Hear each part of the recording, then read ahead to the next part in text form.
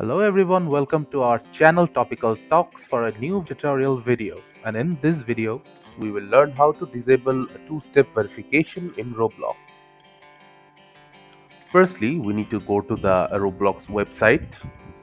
So in the search panel, type Roblox, then hit enter.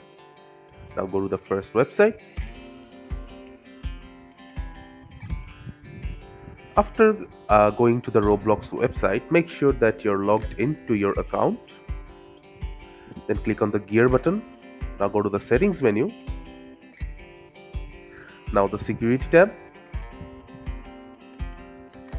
In the two steps verification uh, section, make sure that every one of these settings is toggled off.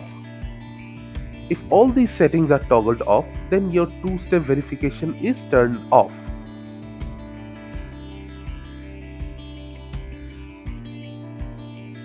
Thank you again for watching the video. Make sure to like this video and subscribe to our channel and see you in the next video.